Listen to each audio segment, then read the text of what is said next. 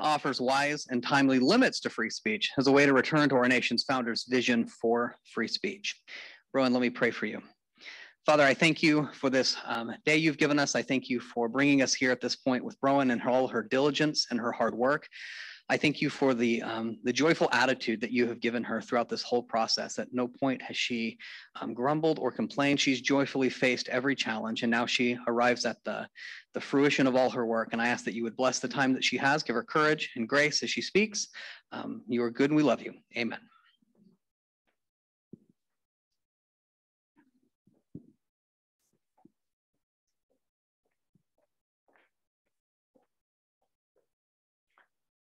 Cancel culture has taken an increasingly prominent role in public discourse. This modern form of ostracism impacts both one's personal and private life. One is canceled as a result of one uttering an opinion that is deemed offensive by the masses. One is after one is after one is canceled, the masses then retract their support from that person and from that person's platform. Cancel culture creates an environment where the sharing of free ideas is where the sharing of free ideas is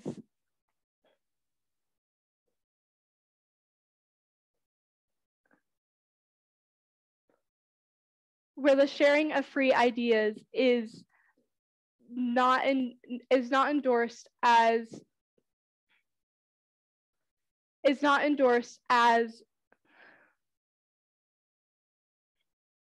something that is good for the public opinion. It is a react cancel culture is a reaction of a group of people against an idea that they disagree with that effectively silences the person that is that has been deemed offensive. Cancel culture makes it so that it doesn't matter whether the person speaks freely or not, they are effectively ignored in the public square. The way cancel culture polarizes opinions makes it so that their idea that it makes it so that people are less willing to share their ideas in the public square. The way the lack of civility with, with which those ideas are received makes it so that people who share people are less eager to share the ideas that they have. This eagerness for sharing ideas was prominent in the founders' plan for the new government. Since the colonies had fought for and won the right to speak not only for them to speak for themselves in government in the Revolutionary War, the founders assumed that freedom of speech would be a prominent tool in the governmental structure that they would create. The masses would be able to use this tool along with, along with others to better themselves and to flourish. American freedom of speech is considered a key part of American culture and is often and America is respected for such for having such equality at, so ingrained in their governmental structure. However, modern Americans have lost sight of the value of free speech as they use as their use of free speech today does not reflect what its original what the original purpose of free speech. Instead, people use free speech as a way to shut down those, to shut down and stop the ideas of the, the ideas that they disapprove of and think that are offensive. This has turned free speech from a helpful tool to a harmful weapon. This cancel culture restricts flourishing in that idea, there is no sh free share of ideas and free flow of thought. Used properly, free speech enables discussions to take place so that man is able to grow and flourish both morally and intellectually. Free speech is defined as any and all articulation by man that is not inhibited. Simply speaking, All speech is free speech until it is, it, until it is stopped, either directly or indirectly. Limits upon free speech are rules used to moderate people's speech. They are a standard or a guideline put upon communication. I have categorized the different kinds of limits into three categories. The first, widely known and assumed rules, uh, widely known and assumed rules. For example, the rules of etiquette. These rules are enforced by society and culture as a whole. The second category are widely known rules that are only used by a specific group of people, usually professionals. An example of this would be a gag order in the court of law or a non-disclosure agreement in a business deal. These limits are enforced by the, by the professionals who use them, but often have backing by the legislature. The third category of limits are theories, which are more or less widely known depending on the current popularity of the concept. Joel Feinberg's offense principle, which states that the prevention of offensive behavior is the state's business, is an example of such a theory. These limits are enforced by those individuals who believe, who choose to believe that they are true. Now that we know what limits and free speech are, we must understand why they are necessary. To answer why they are necessary, one must understand that in order to avoid or solve conflict, something must be restricted. Something must give way. The diversity of mankind ensures that conflict is inevitable. Therefore, something will be restricted. It's just up to us to decide whether to decide what is restricted and what is not, as something will be restricted no matter what. Limits provide a structural a structure to the conversation that allows the participants of the conversation to not only understand their own arguments better, but to uh, understand their opponent in the conversation's argument. With this, with this standard, those who participate are able to are able to move through the discussion more smoothly and are able to understand both their argument and others' argument. Simply, with limits present, one is able to one is able to move through the conversation more smoothly and therefore understand it better. Now one must ask how limits can be enforced. There are two ways, by legal and social means. To enforce speech legally is to modify one's speech to abide by any legislature that exists. An example of this would be the witness oath in the court of law. One under this oath does not break it as they face retribution from the government if they do.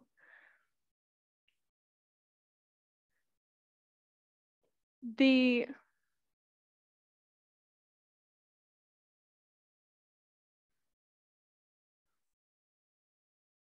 One, uh, one does not break this oath as they face legal retribution from the government if they do.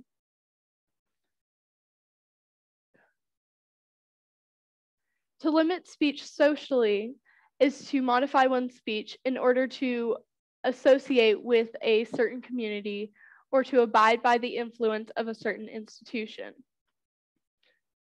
The social limits are very widely and are very fluid and flexible as to incor- as to incorporate each of the as to as to incorporate all of the different kinds of communities and influences that different institutions have. An example of a social limit would be if, say, a certain community did not like pies for some reason. in order to associate with such a society with such a community i would shun everything to do with baking with pies i wouldn't bake pies i wouldn't smell pies because that would lead to me eating pies. I wouldn't do any, I wouldn't have anything to do with pies.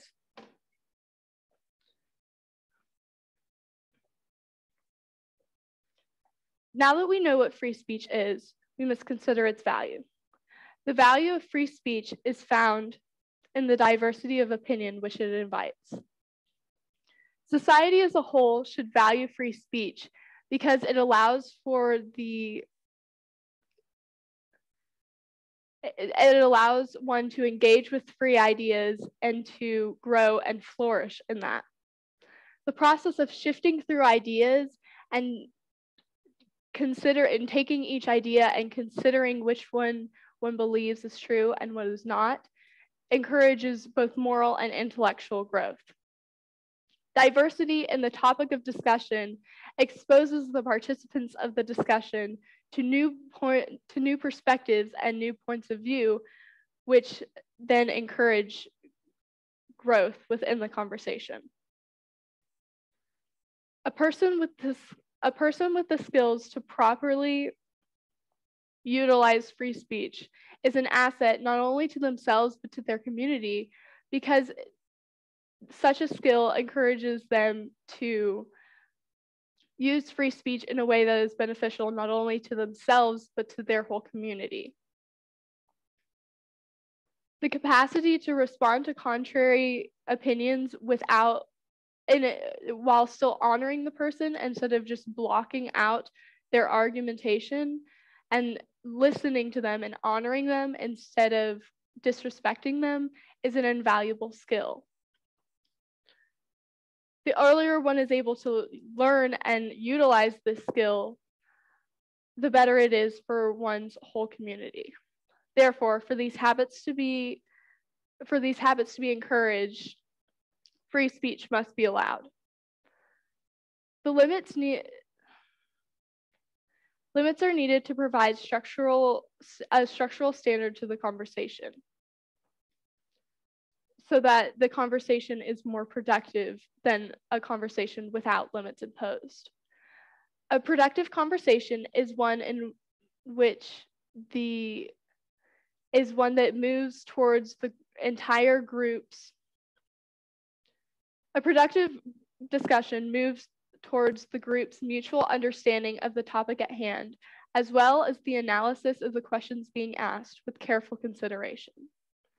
With this in mind, the limits I'm proposing that allow mankind as a whole to flourish are the following.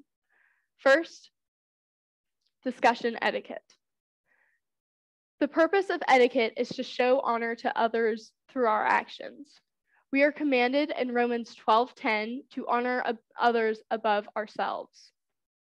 In order to abide by this command in the Bible, we must apply some of the rules of etiquette to others in our lives. The first the description of discussion etiquette varies among establishments.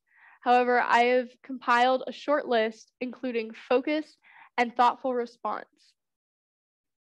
The quality of focus honors others through the quality of focus honors others through the by respecting their opinion and actually trying to understand what they're saying instead of just brushing their opinion away as if it doesn't matter.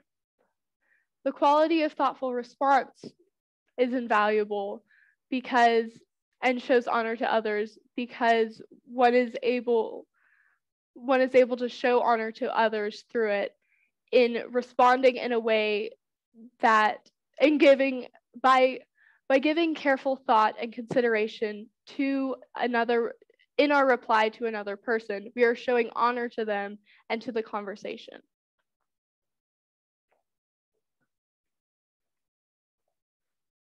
The second limit is John Stuart Mill's harm principle, which states that the only per the only reason that one can rightfully hold power, exercise power over another person against their will is to prevent harm to others. This limit protects those within the discussion against harm. which creates a more peace, which promotes the quality of peace within the discussion, which promotes a quality of peace within the discussion. This is important as one, as an environment where peace is a priority, those in the, as in such an environment where peace is a priority, one will feel safer in sharing uh, sharing opinions that are close that are near and dear to their hearts and which are able to which creates a more free environment for the free flow of ideas. An important phrase to note in this limit is against their will, as it exemplifies the social contract theory. If these two limits are carried out within a discussion, both it will encourage both moral and intellectual growth. As this, as this growth continues, one is able to flourish. Exposure to new ideas, especially in discussion, leads to growth because one is able to consider new ideas and find things and see things from a new perspective. This leads one to process new information and interact with it. As one is processing new ideas, both moral and intellectual growth is encouraged. More intellectual growth increases as one as one gains new information and is able to store that in their brains. Moral growth is encouraged and increases as one takes new ideas and considers them and decides whether they are true or not. As both as one grow as one continues to grow both more and their capacity for both moral and intellectual growth, one is able to flourish. In order for students to flourish, they in the intellect the environment that they are in must be made profitable to this objective for for flourishing. In order for this to be the case, in order for this to be the case, their educational surroundings must be made beneficial to that objective. Once this is done, students have the opportunity to both grow and flourish. This is important to the society as a whole because if the students of the society uh, are growing and flourishing, then that means that as they grow up and move into the world, then the society, the society as a whole will become better as it is more attuned to growth and flourishment. In conclusion, the limits of the harm principle and discussion etiquette matter because without them, free speech cannot exist in any form that is advantageous to society.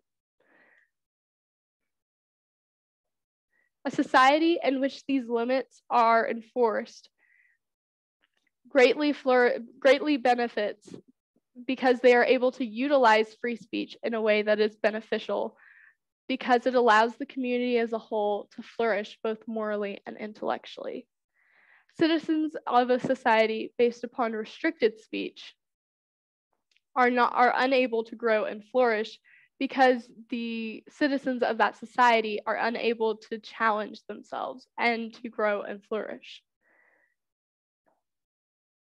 The government reflects the beliefs of a society, the beliefs and changes in a society. As the society grows and flourishes, so that that is reflected in the government. However, if the society is unable to grow and flourish, so will the government. In order to prevent this deterioration, free speech, bounded by these few limits, must be upheld in society. Thank you.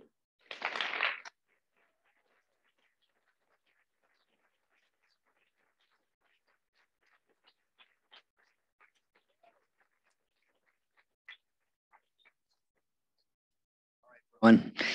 It's time for your defense questions. Your panel is Dustin Phillips. I'm Cody Bertram, and this is Dr. Merritt, as you know. All right, first question. You talk about limits, and there's a way in which discussion etiquette would be managed by individuals. Um, what role does the government play in enforcing and or promoting these limits, if any? I think currently the government doesn't have much of a role, uh, much of a role in continuing and enforcing limits such as etiquette. I think that is more enforced by culture and society as a whole. Um, it is that limit is specifically in the first category of limits that I explained in my um, speech. So I don't think the government has much of a role. No. Browen, on page three of your paper, after arguing that the founders saw freedom of speech as a natural right, you assert that freedom of expression, and I'm quoting you, freedom of expression is a right that has been allowed to the people by the government, which sounds to me more like a positive right as you've defined it.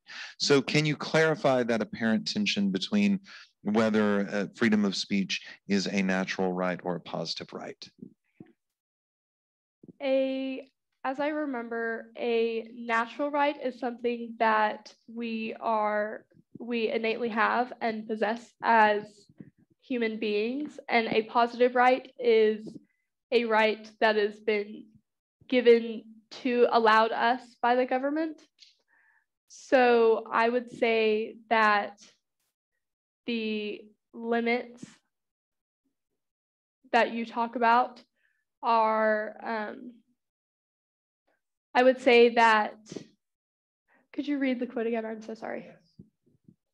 Freedom of expression is a right that has been allowed to the people by the government.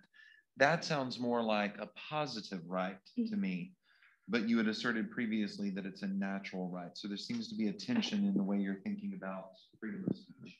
Okay, yes. So what I'm trying to say is that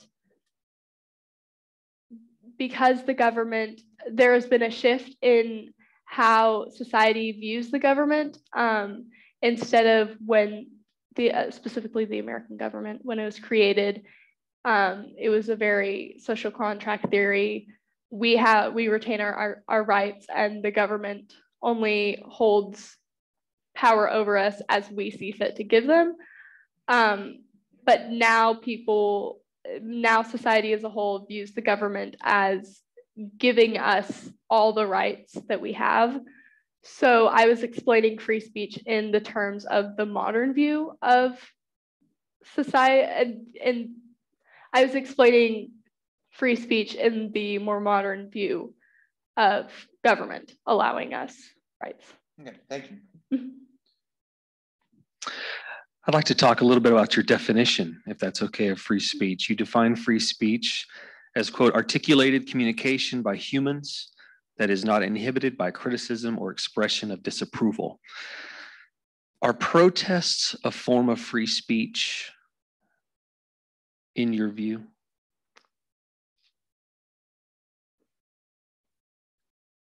Yes, they are. um, I mean, we've seen a lot of very great increase in the amount of protesting that has happened, um, and especially an increase in the amount of news coverage and media coverage for protests. Um, as I'm sure protests were happening long before this whole um, Black Lives Matter thing um, has happened, but I was just unaware of them until the point of the media, media covering them. But protests in which people are standing in the streets and you know holding signs and saying this is what i believe paying pay attention to me this is i want to show people what i believe that that is a form of free speech can I ask a follow up to that? If it if a protest is interrupted by the government or um, by an opposing protesting group, is that speech still free? I would say that it that then there the speech of the protesting group that is being stopped or otherwise that is being stopped, it, their speech would then become restricted speech. Fair enough. Thank you. Browen, in your paper, you begin with the, the founder's vision of free speech and the value it had for them. One of the things that strikes me is that our founders could not have possibly imagined social media, um, TV, radio, um, even music today. Um, they could not have imagined um, that. What do you see, thinking about what the founders' vision was and their purposes and their goals?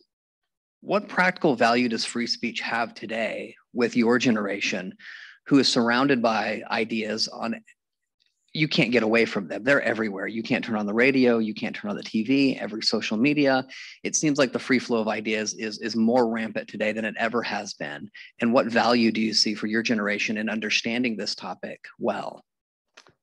I think that as much as there is a, an abundance of ideas available to us today, I think it's important that we, especially as Christians, should be aware of this topic and understand free speech and how it works. Because, I mean, right now we're sitting in this auditorium, and I'm sure there are not a lot of people who believe differently than everyone else here in this room. But outside of this room, we are in the minority. And so I think to promote Christianity and to um, stand firm in our beliefs, we must understand free speech and how it works.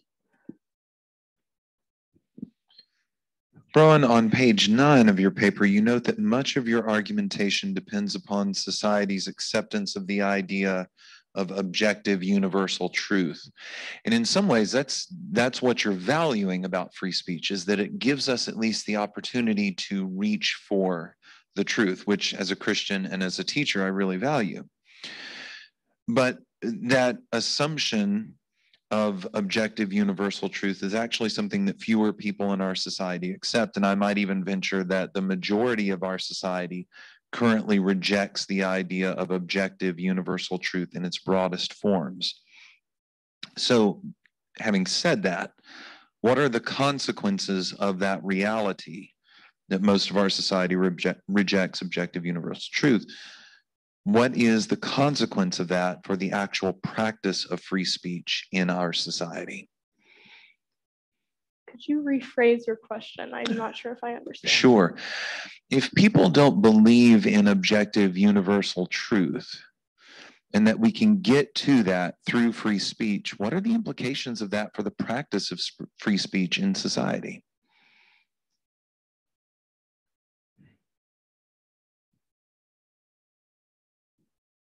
I honestly don't know. Let me think. I think that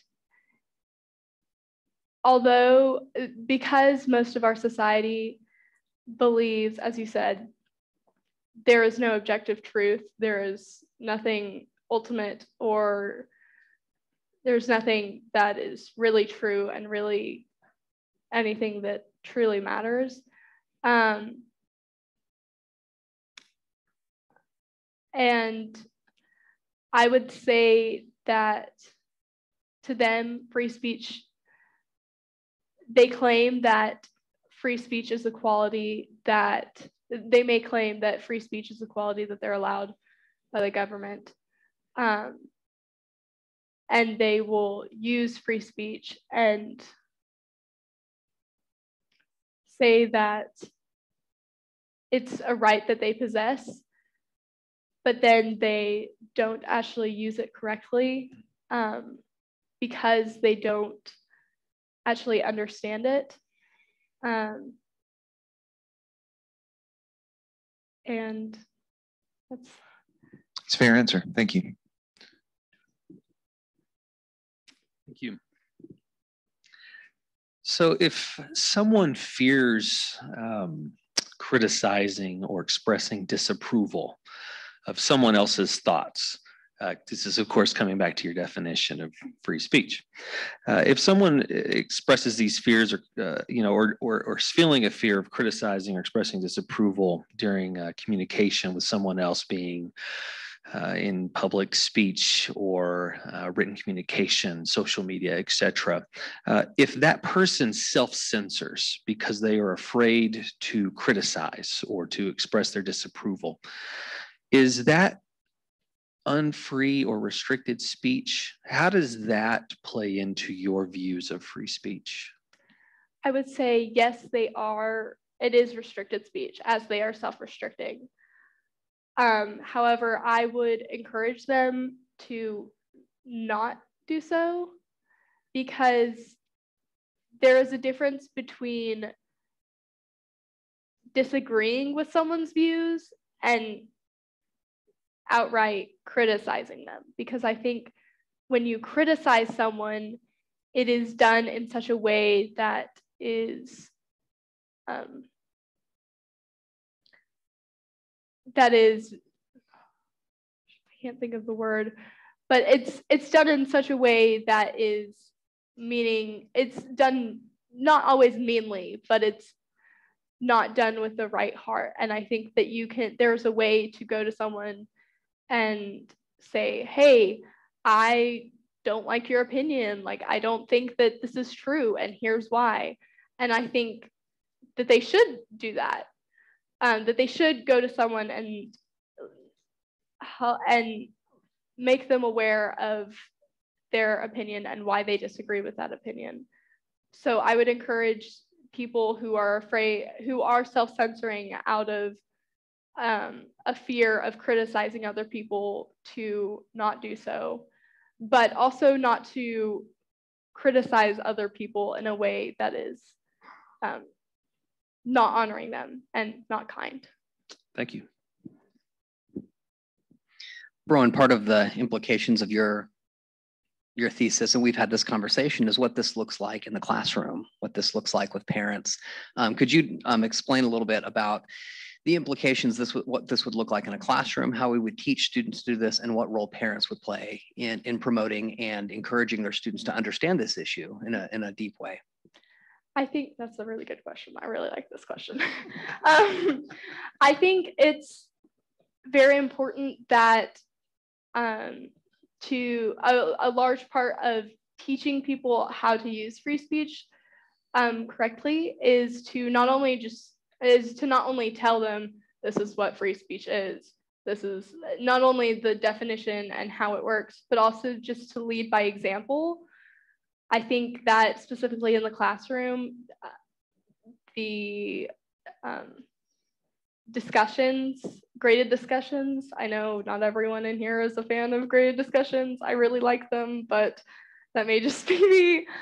Um, I think those are very helpful. I actually when I was looking at my, when I was researching different kinds of limits, I actually used the different grading rubrics for like from different teachers at Covenant um, and kind of looked at them, looked at those to see what kind of things are being graded.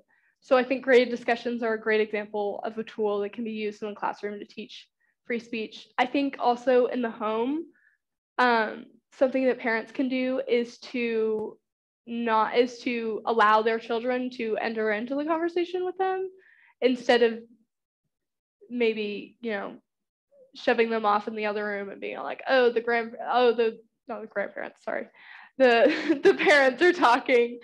Um because and there there is a point where it's like okay these children are not they're they're not able to enter into this conversation. But i think that allowing your children to and talking about different topics with your children um, is very influential in their lives. So. Browen, in the course of answering Mr. Phillips' second question, you also managed to answer my third question. So I'm going to defer, you lucky girl. Okay. in your conclusion, oh, here we go. You write, Quote, without the harm principle, discussion etiquette, and thoughtful response, free speech cannot exist in any form that is advantageous to society. Pretty stiff words. What about comedy and other forms of art? What do you mean?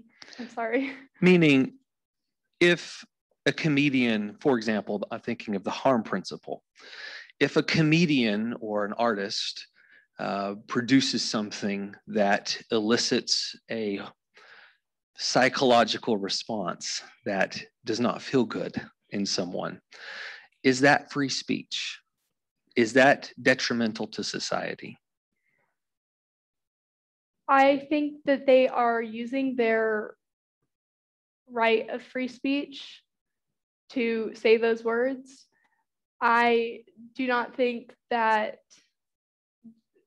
as their words created an effect that was unpleasant, I um, I do not think that they maybe should have said that because part of on part of the limits that I talk about, um, a central theme to them is honoring other people and making sure that how you talk to other people and how you address them, and how you respond to them is honoring them. And so when that's not happening, I think you need to take a step back and be like, okay, I am actually, I am, I'm allowed to do this, but should I, should I be doing this? So. Okay, fair enough. Thank you. All right, Browen, panel's done. Here we go with the audience. Uh, to go over the ground rules, the mic is my property. It doesn't leave my hand. You get one question, no follow up. So make it clear, make it concise. We'll start with uh, adults and teachers in the room, and then if there are, as if there's a distinction between adults and teachers, um, and then we'll move to students if we have time. So questions from the audience. Am I gonna get lucky? oh. Haas is just deferring to other people. I see. Towel shower? Okay. Mrs. Baker isn't here, so. Um, I my question is, you mentioned in the panel questions that culture or society would have to be who enforces these limits. So what do you think would entice a society to um, enforce the limits that you've proposed for free speech? Um, I think a society or an institution such as the church would benefit greatly um, because they would understand, hopefully, the um, they would understand the purpose of free speech, and so that would encourage them to want to be an influence to other groups and other people. So. Uh, Browen, um, I think anybody who who knows me at all, I, I would hope, would would uh, say that that I'm for free speech very, very uh, important to me. But I think anybody who knows me would also say that I'm also for criticizing and often disapproving of things. So I'm trying to figure out, based on what you're saying, does that make me inconsistent or does it matter who's doing the criticizing and disapproving and does it matter how it's being done? Can you help me with my inconsistent possibilities? I think something that's kind of hard is the term criticizing often has a negative connotation. Um, and so I would say, in my interaction with you, when you do criticize, I think it's being done out of a heart for, especially towards me um, in particular. I don't know if I can talk to anyone else, but you are doing, you are criticizing me um, out of a heart that is wanting me to understand why I am wrong. And it's not, it's not, you're not trying to say, oh, I'm better than you, I'm right, you're wrong. You're trying to say, I don't think your belief, I don't think what you're saying and what you're understanding is consistent. So let me help you understand. So I think it's the intent with which you criticize and not how you criticize. I don't know if that answered your question. I'm seeing from your face it didn't, sorry. So, so Browen, this is a, a very difficult topic in the sense that you're combining the element of free speech with free thought. And you mentioned the cancel culture, which of course thinks into other people's heads and then shuts them down for thinking different than what other people think that they should think, right? Mm-hmm. So in that in light of that, I, I really have two questions, but he won't let me ask two questions. So I'll ask the more difficult. Lucky me. If the harm principle should guide the limitation on free speech, and you bring in intent, which makes it even more difficult because that's free thought again, right? What about the Christian witness of biblical morality? Just speaking the truth of the Bible is offensive to many people in our culture now. So it would be canceled because it's not nice, even though it's truth. So, how do you reconcile that? I reconcile that by saying that those who cancel obviously do not understand free speech and how it works because they are inconsistent in how they apply free speech.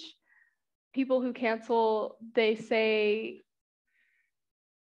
they say, I'm allowed to say whatever I want because I have free speech. However, you who do not, you do not get to have the right of free speech because it offends me. And so it's just very inconsistent. And I think that to to um, for those two to be reconciled, then it, it it's to hold you would be holding them to a standard that they can't be held accountable to. So. All right, I have time for one more brief question. I've got a senior hand up. Okay.